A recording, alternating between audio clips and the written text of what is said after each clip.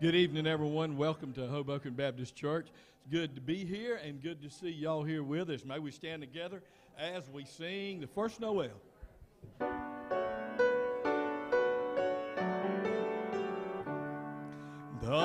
first Noel, the angel did say, was to certain poor shepherds in fields as they lay in fields Lake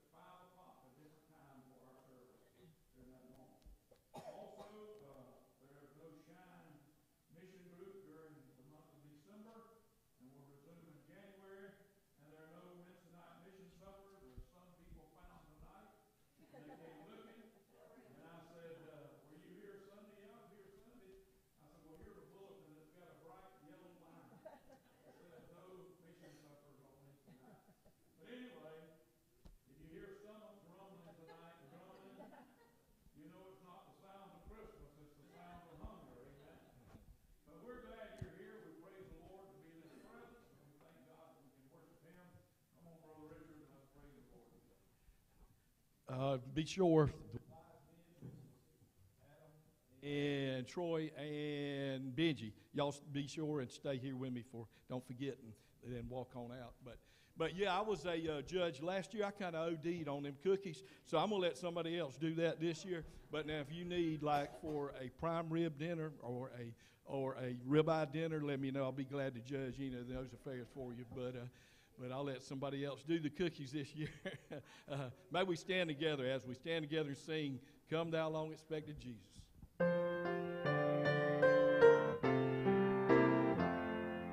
Come, thy long expected Jesus, born to set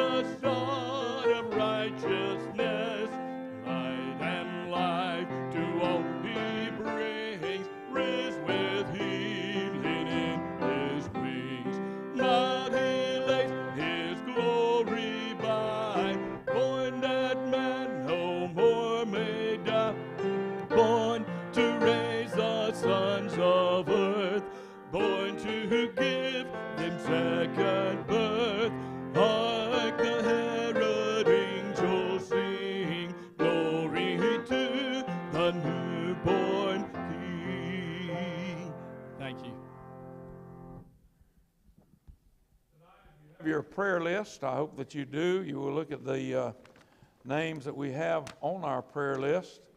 Please remember in prayer and continue to pray for Mike Drew, Margaret Stevens, and Barbara Norris.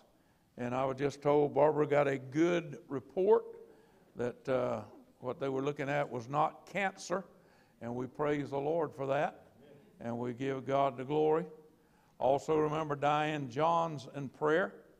Pray for Derek Jones, Charles Gillis, Laura Thornton, Kelvin Steedley, also Steve Jones and Ashley McCoy, Donna Anderson, Brenda Rentz, Jeffrey Dreggers, Bonnie Williams, Kenny Cravey, Bo Palace, James Perry Jr., Baylor Steve, Amanda Anderson, Lauren Dowling, Neil Cushman, and if you would add the name of Linda Kuntz, uh, friend of ours who had brain surgery, and praise the Lord is doing well. We remember our homebound, especially in this time of year. So we think of Evelyn Dowling and Hazel Lee, Mayo Gillis, Patsy Gamage, Corbell Dowling, Heather Dowling, Aletha Todd, Donald Hale, Hubert Strickland, Anna Sue Roberts, Mary Lane, and Roy Harris as we pray for these before the Lord. Remembering those in our nursing home, Juanita Chesser, Janet Pitchford, Bennett Strickland, Eileen Strickland, also Mary Lee Wiley Shaw. And also tonight, if you have unspoken requests, would you just make it known by the uplifted hand as I do, knowing that God understands and hears our prayers. What if you have someone you want to pray? Just lift your hand and speak up loudly so we can hear who you want us to pray for and tell us who it is. Anyone that you want to remember in prayer? Yes. The preacher Cruz, um, his funeral was today, I'd like to remember their family. Okay. Someone way back in the back. Okay. Anyone who had, uh, surgery Monday. And Jack Christian, cousin of mine, was diagnosed with cancer yesterday, doing prayer. Okay. Anyone else? Please pray for uh, Eddie Howell, that's um, my uncle, daddy's um, only remaining brother, in um, Brooks Rehab in um, Jacksonville. Okay. Anyone else?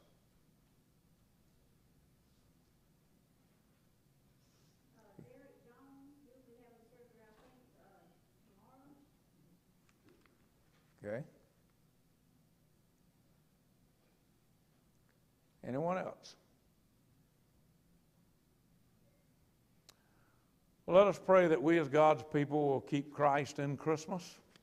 Most of all, we'll think about what it means and what He means to us as individuals as we pray and seek the Lord together. I ask Brother Robert Hires to come up here and lead us in this time of prayer.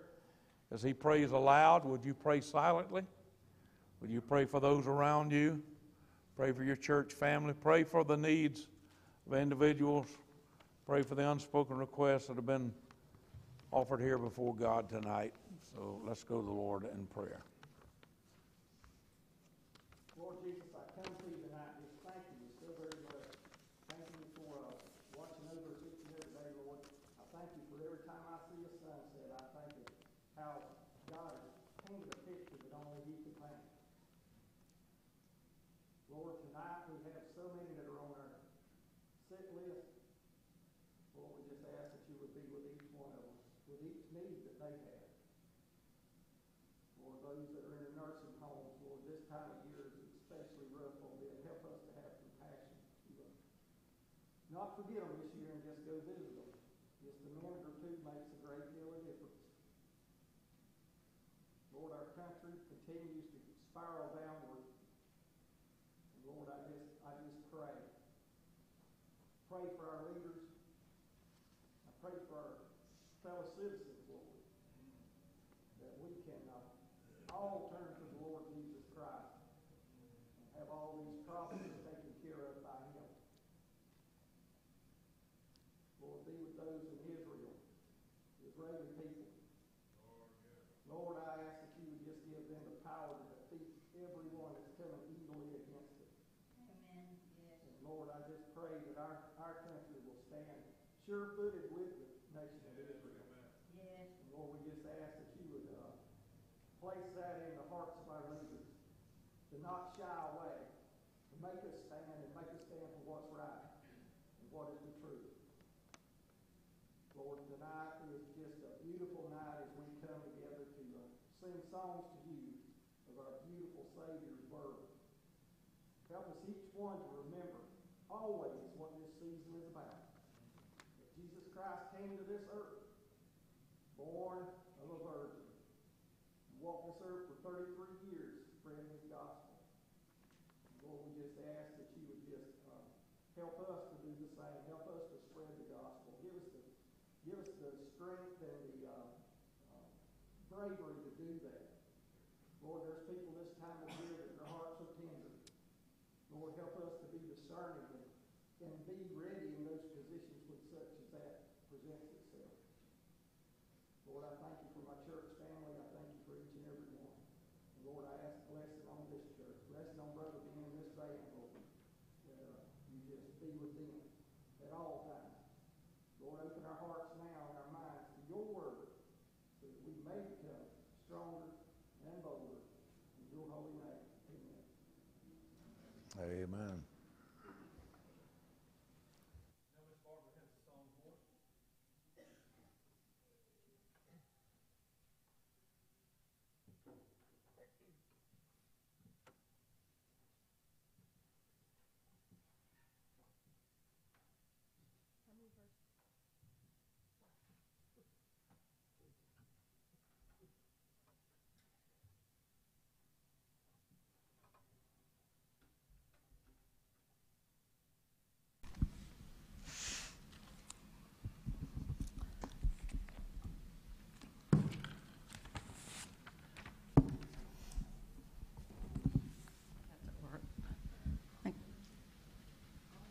Yes.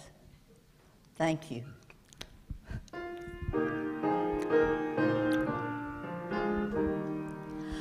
I heard the bells on Christmas Day, their old familiar carols play, and wild and sweet the words repeat. A peace on earth, goodwill to men. I thought how as the day had come, the belfries of all Christendom had rolled along through broken song, of peace on earth, goodwill to men. And in despair I bowed my head. There is no peace on earth, I said, for hate is strong and mocks the song of peace on earth, goodwill to men. Then peal the bells more loud and deep. God is not dead, nor doth he sleep. The wrong shall fail, the night prevail. With peace on earth, goodwill to men till ringing, singing on its way, the world revolved from night till day. A voice, a chime, the chant sublime of peace on earth, good will to men.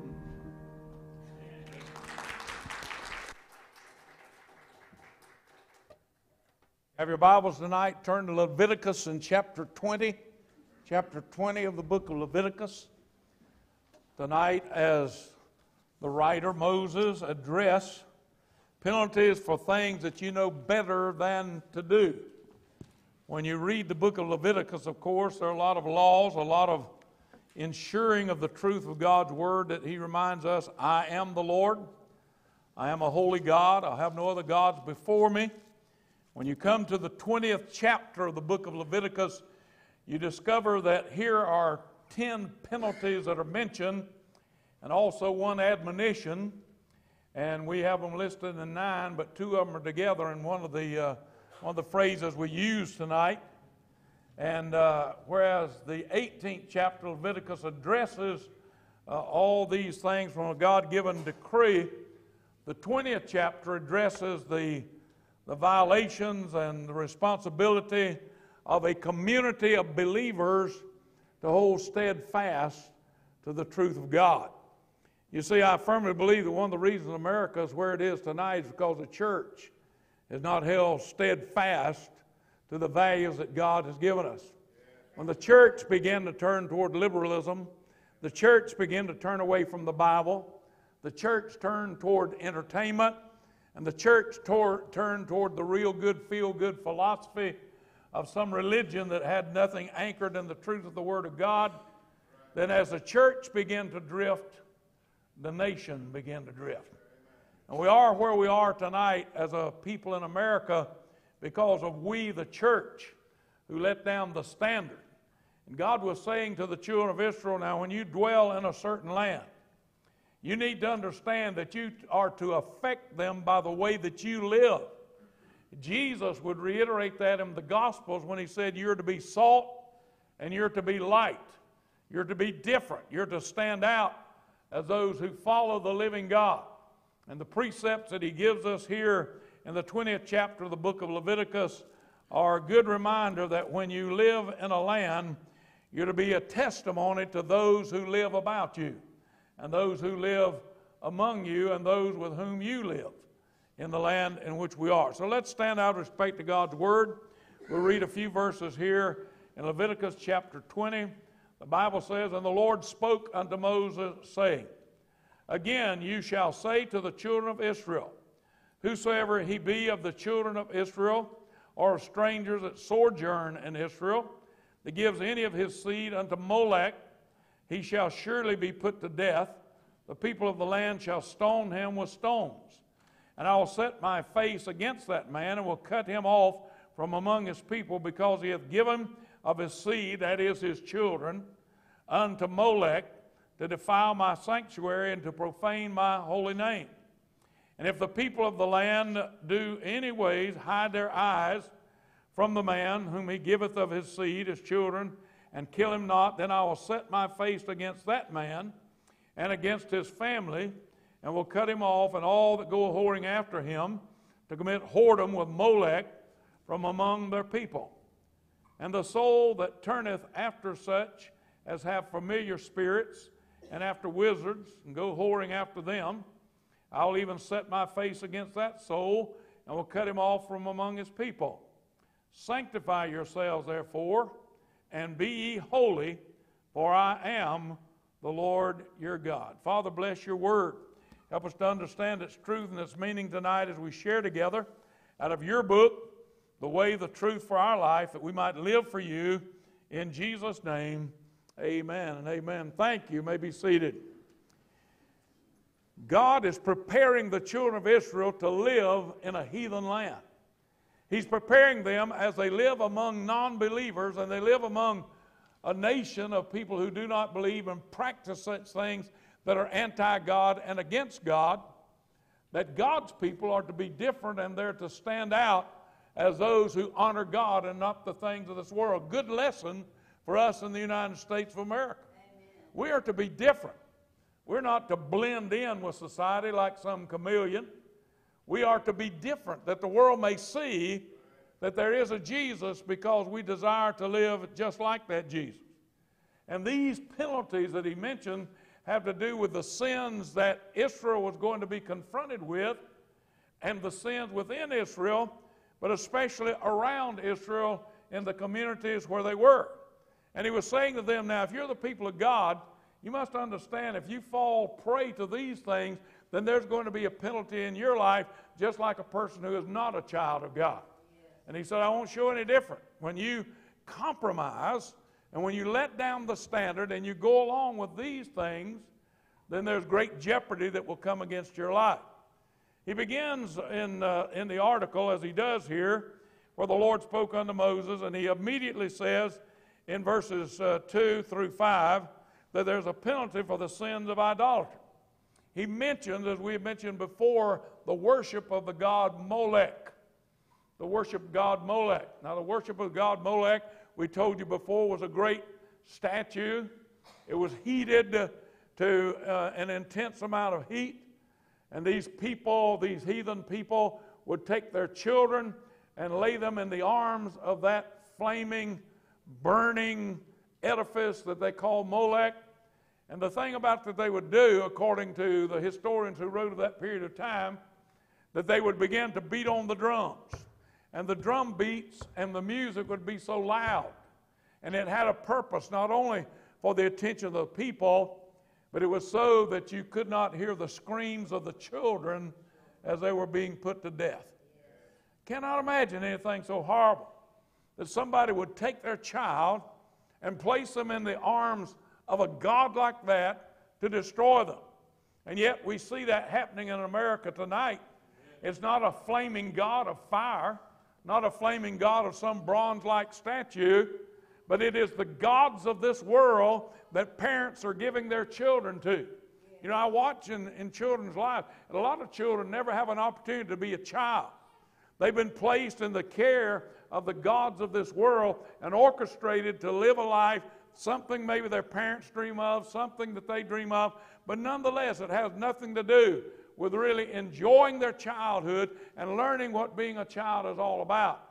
It is placed in the arms of some other organization or some other person, and that child is literally sacrificed on the altar of worldliness to please the parents or to please society, and they've forgotten that the best teacher for a child is at home with their parents, at the knees of their mother, who reads to them the Word of God and prays with them and teaches them the stories of Jesus. But we don't want to talk about that in our society today. Oh, no, no, no, no.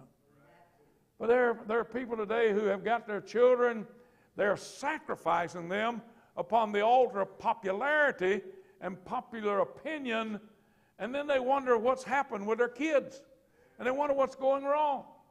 God said, when you sacrifice your children, the Lord said in verse 3, I will set my face against that man because he hath given his child unto a false God, unto Molech, to defile my sanctuary and profane my holy name.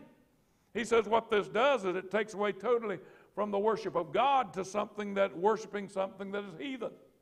From worshiping God to worshiping something the world worships and being involved with those things instead of being involved with the things of God.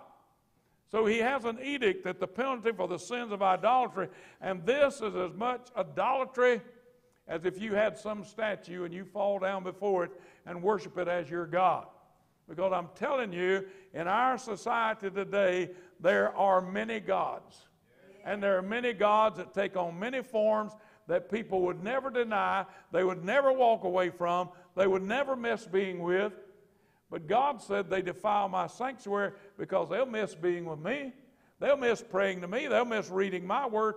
They'll miss talking to me. But they won't miss those things because they're sacrificing their children to the world.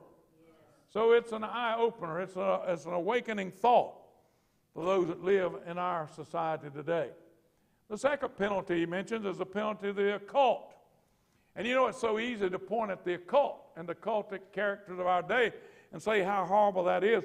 And we forget about that first penalty that he mentioned where you sacrifice your children to something besides the things of the living God. So now he talks about the occult when he says, And the soul that turneth after such as have familiar spirits and after wizards to go after them, I will set my face against that soul. He said, Sanctify yourself, therefore, and be ye holy, for I am the Lord your God. Now, over in verse 27, he reiterates the same thing again. As I said, there are two of these put together. A man also, or a woman, that hath a familiar spirit, or that is a wizard, shall surely be put to death they shall stone them with stones, their blood shall be upon them. God said when a person practices the occult here in the Old Testament, they were to be put to death. There is no grace there. It is simply the clear law of God. And it says that God's people are not to involve themselves in the occultic practices of this world in which we live. And today it is so insidiously desensitizing to our society that people think nothing about it. There are thousands of people who go to church that get up every morning and read the horoscope. You see, that's dealing with familiar wizards. That's there are people who are in church, and particularly young people who play with a Ouija board, who have tarot cards, who have certain uh, fixtures that, that they look at to emulate and to decide what their future is going to be. And now they can do it on their cell phone. If they download a certain app, they can punch that app and it will give them some forecast or some prophecy or some futuristic thing that's going to happen in their life. All of those things have to do with the occult. And the occultic practices deny the presence and the authority of God. Now, God said it's one thing for you to practice that, but it's something else for somebody who has that spirit. What does He mean? He means that they are demon possessed. It means that they have that spirit dwelling within them that eschews that evil to the point that they constantly are practicing such things. You see, today we don't believe much about people being possessed, but I'm telling you, there are many people who are possessed in our society. And there are many who are walking around with the demonic forces in control of their life. And you look at them, and their eyes are hollow, and their thoughts are empty, and their mind has no communication with the things around them that are pertinent to society, but they are involved in some foolishness of the world. You see, that is a person who needs the presence of Jesus Christ within their life to drive the demons out and to separate them from the familiar spirits. God said to play with wizards, to play with all these kind of occultic things is unreal. And yet we have many cults that are flourishing in America today. And they're flourishing in our society today. Then he says in verse 9, there are penalties of sins for immorality, and he begins to block all of them together as he lists them as sexual sins uh, all the way down through verse 13. The Bible says, For everyone that curseth his father or his mother shall be surely be put to death. He that hath cursed his father or his mother, his blood shall be upon him. Now, God lists that as immorality. It is immoral for a child to curse their parent. It is immoral for a child to look at their parent and say, I wish you were dead, or to curse them in some manner or some measure. It is against the will and the design of God. It is open immorality. It is immorality for a person to mistreat or to do disdain to the parents that God has given them. They may be poor parents. They may be sorry parents. They may be terrible parents. They may be awful parents. But God has said, even in the measure of that, you're to treat them with respect and you are to pray for them and you're to lift them up before the Lord.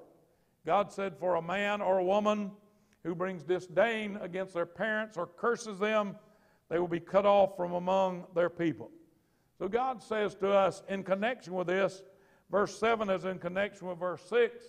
He says, Sanctify yourselves, therefore, and be ye holy, for I am the Lord your God. What in the earth does he have to mean with that in connection with verse 6? God said, when you're in that situation, that you have parents that are against the will of God, or that are against you and the will of God and the things that you're doing with God. When you have a parent like that, God said, Here's the answer for you. This is how you deal with it. Number one, you sanctify yourself. How do you sanctify yourself? You confess every known sin before God. You ask the Holy Spirit to clean your heart and to clean your life. You ask God to clean your mind of impure thoughts. Sanctification is the act of cleansing by the power of the Holy Ghost. That's what happens. He continues in the cleansing process. The day you got saved, you received the Holy Ghost because no man saved without the Spirit of God. What it says in Romans 8 9. But when that process began, He came into your life to keep you clean and pure and holy before God. So God said, in order to deal with these wayward parents, the first thing you've got to do is you've got to sanctify yourself and cleanse your heart so that you will be right with God. And then he says that you are to be holy. God says to be holy in deed to be holy in thought, to be holy in action. Holiness is being like God. We talked about that last week, son. It's to understand that in holiness we draw close to Him. And the Bible says, even in the book of Hebrews, without holiness no man shall see God.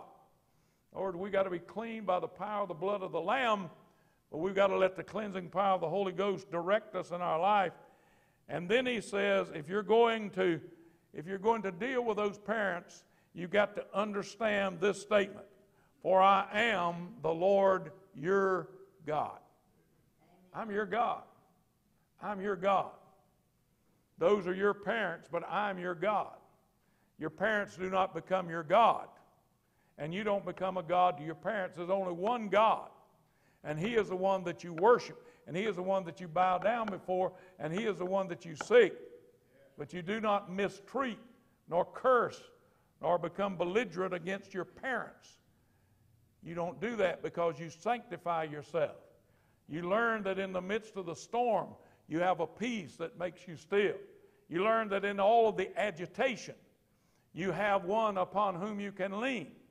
You learn that in all the upheaval and the uprising of those in your life, that you can lean upon Jesus because what was the statement that he gave to us?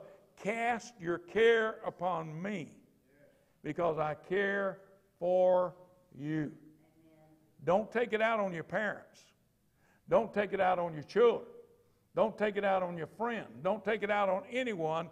Cast your care upon the Lord, for he careth for you.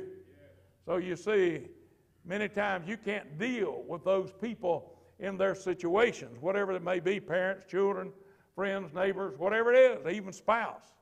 But what you can do is that you can go to the Lord and ask for the purifying, cleansing power of the blood of the Lamb to sustain you, whereby you have peace with Him because He is the Lord your God. And He says, You shall keep my statutes in verse 7, and you shall do them. And again, I am the Lord which will cleanse your life, which will sanctify you according to my purposes in spirit and in truth. He deals with the sins of immorality. And then the penalty of the sins for adultery in verse 10. And the man that committeth adultery with another man's wife, as he committeth adultery, he said, with his neighbor, the adulterer, and the adulteress shall surely be put to death. Under the law, there was no retribution any other way except death itself. Many times to be stoned to death. We know that now, by the grace of God, that a person must die to self and they must live to Christ if they're going to survive. If they're going to survive. And if they're going to be what God would have them to be, even when they have someone who commits adultery, they must indeed let God handle it. And God must take control of it. Because you and I surely cannot. The only thing we can do is to pray for them that the Spirit of God would call them to repentance. So in verse 10, is a penalty for adultery. Verse 11 and 12 has to do with the penalty for incest, whether he is talking about a man that lies with his father's wife, his mother or stepmother, or one that uncovered his father's nakedness because of them shall surely be put to death, and their blood shall be upon them. If a man lie with his daughter in law, both of them shall surely be put to death. They have wrought confusion, their blood shall be upon them the sin of incest is one of the most ungodly sins, and all sins are ungodly, but one of the most hideous sins that occurs upon the face of this earth. And we have, we have today a pure epidemic of that going on in America today, where fathers are molesting their daughters and mothers are molesting their sons. And on and on and on it goes with a hideous respect to sin itself. And God says that He forbids such and that it is abomination before Him. So these sins of incest, Paul would mention that over in 1 Corinthians chapter 5, where you remember the sin unto death, where the young man was brought for gross sexual sin. And the Bible said such sin should not even be named among us. You remember what Paul said was going to happen to this man? Now listen, the young man that did that was a Christian. The young man that did that was a saved young man. You mean a saved person can do that? A saved person can go into the slough of sin just like a lost person. The difference was that this young man, Paul said, here's what we're going to do with him. We're going to turn him over to Satan for the destruction of the flesh, that his soul may be saved in the day of the Lord. You mean he'd still get to go to heaven? Yes, but he would die one of the most horrible deaths that anybody could ever imagine. You want to see a caricature of that? You just read through the book of Acts, where as Paul was preaching, and he pleaded with Herod, the great leader, to accept Christ. And Herod came with his robes of silver and gold that had been spun with the precious jewels. And when the people saw him step out on the balcony, they all fell down and said, Behold, it is a God, it is a God. And when he himself considered himself a God, that he was accountable to no man, he was accountable not to God, he was a God himself. You know what happened to him? God said that he sent the worms, and they ate his flesh, and literally ate him alive. Listen, God doesn't play with sin. God is a holy God. And God said there's one cure for sin that's repentance and contrition because of sin. And he reminds that the sin of incest, the sin of adultery, the sin of sexuality outside of the framework of marriage, living together without the benefit of marriage, is an abomination before God. And God said that we pay the price. Some people are living like that and they don't understand why they can't ever get ahead. They don't understand why they can't get successful. They don't understand why things can't go right for them. Well, I'm telling you, as long as you live in sin outside the will of God, how in God's name can you expect things to go right for you? It's an impossibility. The Bible says very plainly in the book of James that the working of iniquity does not work righteousness. That means that you cannot do wrong in order to do right.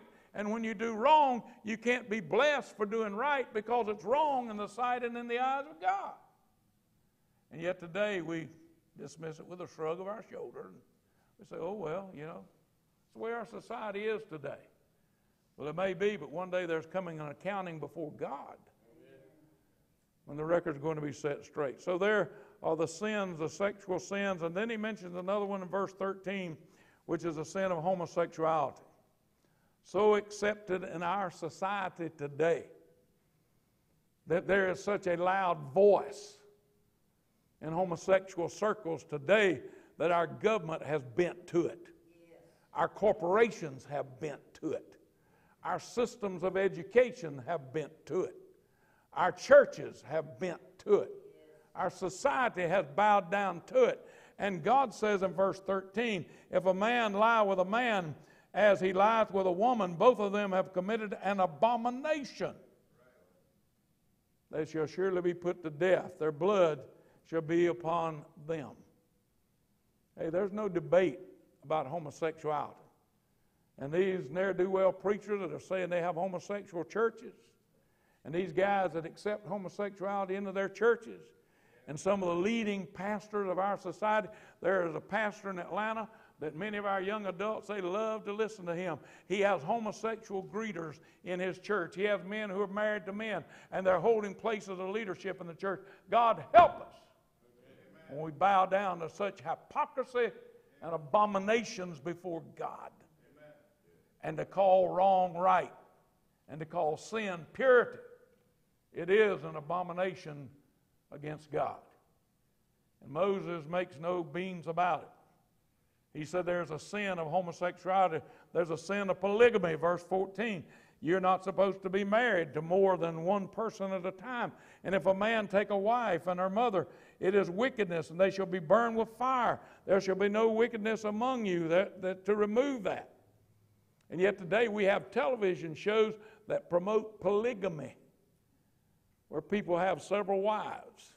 We have television shows that permit and promote fornication and adultery, all in the name of bachelors and bachelorettes and all this junk that you see come across the screen. It is nothing but whoredom that is paraded down Main Street and is accepted by people and Christians who sit at their house and they watch it and they applaud it and they think it's funny and they think it's good. God says you're a partaker in that evil and you will be judged by the hand of God. Oh, preacher, you done got way out there, preacher. Like one fellow told my wife, I said, Boy, the preacher's on everybody tonight. Listen, the Word of God will stand. And having done all to stand against the evils. And then another hideous sin that he mentioned in verses 15 and 16 is those who would interchange in sexual uh, with the beasts of the field. If a man lie with a beast, verse 15, he shall surely be put to death. If a woman approach unto a beast and lie down therein, thou shalt kill the woman. And the beast, bestiality, accepted in our society today. Penalty for sexual sins in verses 17 through 21. He goes on and he lists all of them. And we won't reiterate them, nor will we go over all of them tonight. We have already seen them in the previous chapter. Because he deals with them in detail all the way down through verse 21. And then after these nine, really ten, because verse 27 is included in those other nine, then he deals with an unction to holiness and God's call to holiness in verses 22 through 26. He says to us in verse 22 You shall therefore keep all my statutes and all my judgments and do them. Now, there's an interesting truth in Hebrew grammar in verse 22. You shall keep all my statutes and you shall keep all my judgments. Now, that word keep is an interesting word. It means that you have knowledge of them and you keep them in your mind. You see, there's not a person probably that lives that does not know the statute and the judgment that says, Thou shalt not steal. Thou shalt not lie. Thou shalt not bear false witness. Thou shalt not covet. All those Ten Commandments. They know, they keep those things, they know them. But God said, That's not all. You don't just keep my statutes, you don't just keep my judgments. Notice very carefully in verse 22, He said, You do them. You put them into action. They become a part of your lifestyle and your living. And you aren't influenced by those around you, verse 23. You shall not walk in the manner of the nation because everybody's doing it. And you go to some gathering and everybody's passing around a drink, some alcoholic beverage. You don't drink it because they're drinking it. You say, oh no, I'm a Christian. I don't participate in that. I don't drink that. Somebody said, well, if you got a glass of Sprite or if you got a glass of tea, they're not going to know the difference between that and, and whiskey or whatever it is. Well, they may not know the difference, but you know the difference. Amen. And what's more important is God knows the difference. God knows the difference, and He knows what our testimony is. You shall not walk in the manner of the nation. Verse 24, but I've said unto you, you shall inherit their land, and I will give it unto you to possess a land that flows with milk and honey. He said, I am the Lord your God. Now, watch this carefully. Look at that very carefully. Underline end of verse 24. I am the Lord your God, which has done what? Has made you like everybody else? Has made you all the same? You all act the same way? All do the same thing? No.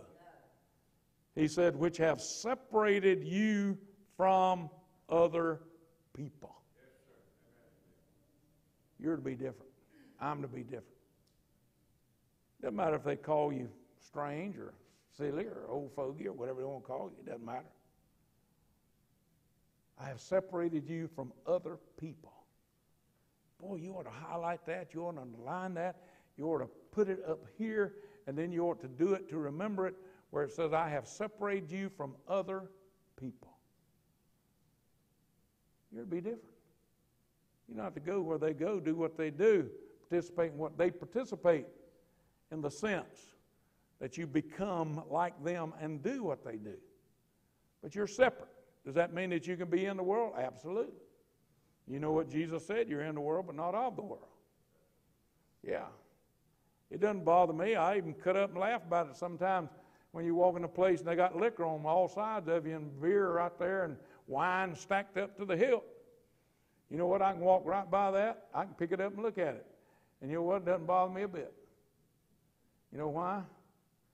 Because the truth is that it has no part in my life. that it caused me to crave. Now, Brother Richard, if I walk by where they're cooking a ribeye steak, or I walk down the aisle and there in that, in that beautiful pastry counter, they got a big fluffy coconut cake, or they got some cream puffs, or they got some cinnamon buns, or they got some peanut brittle, or some crackling cornbread. But God says, I have separated you from other people. Verse 25, you shall therefore put difference between things which are clean and things which are unclean. You know that. You don't have to have somebody go around with a magic marker and say, uh uh this is dirty and this is clean. You don't have to, you know what it is. You know exactly what it is. You can't sit in church and look holy and say, well, I knew that drink when I smelled it wasn't Coca Cola. You know what's dirty and you know what's not. You know what's clean, you know what's not. God said you're to separate between those things. And verse 26 And you shall be holy unto me, for I, the Lord, am holy. And notice this and have severed you from other people. And I did it for a purpose. Look at it carefully. End of verse 26. That you should be mine. You belong to me. You belong to me. I know all of you that were raised by godly parents or Christian parents, probably many times you heard when you start outdoors, remember who you are. I remember mine many times said, Now remember, you belong to me. And a lot of times they'd say, Look, you belong to me, and I better not have to come after you. You belong to me.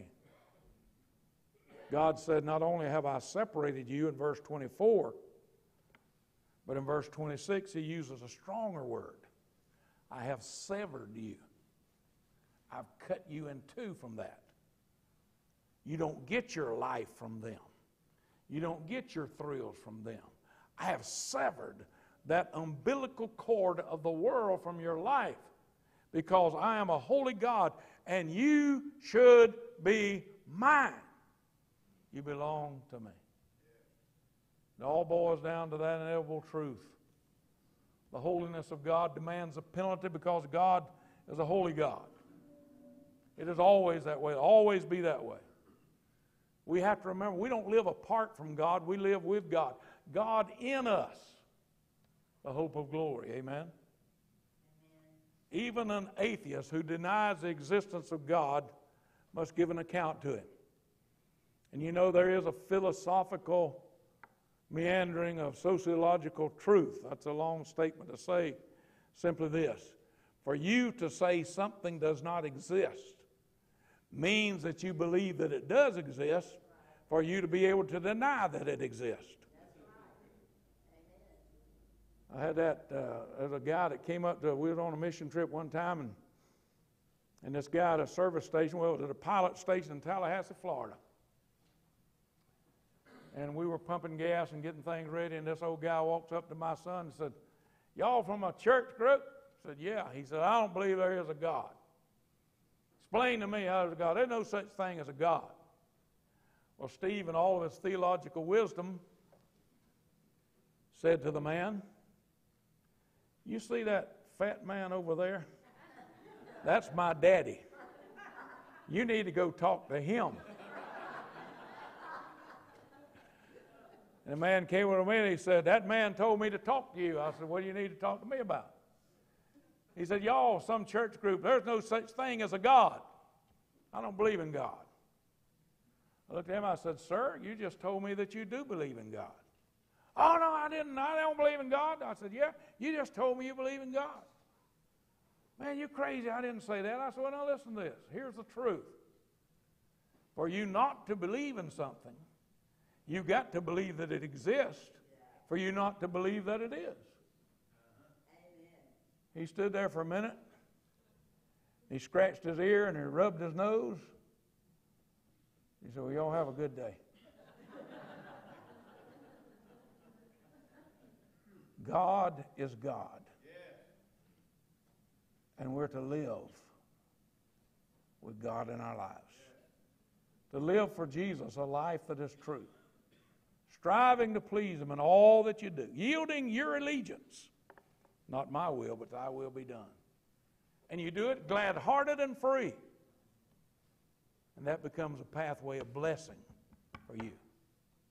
Oh, Jesus, Lord and Savior, I give myself to thee. For thou in thine atonement didst give thyself for me. I own no other master. I've been separated, I've been severed. That's what the songwriter was saying. My heart shall be thy throne. Henceforth I give my life to live. O Christ, for thee alone. Separated, severed, sanctified, serving the Lord Jesus Christ.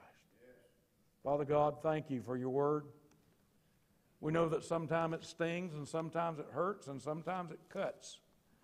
But you tell us it does that in order to bring about spiritual surgery within our life, in order to heal us, in order to draw us closer to you. And sometimes the cleansing process is painful. Sometimes it's like an open wound that has alcohol poured in it. And oh God, tonight, maybe that's what we need.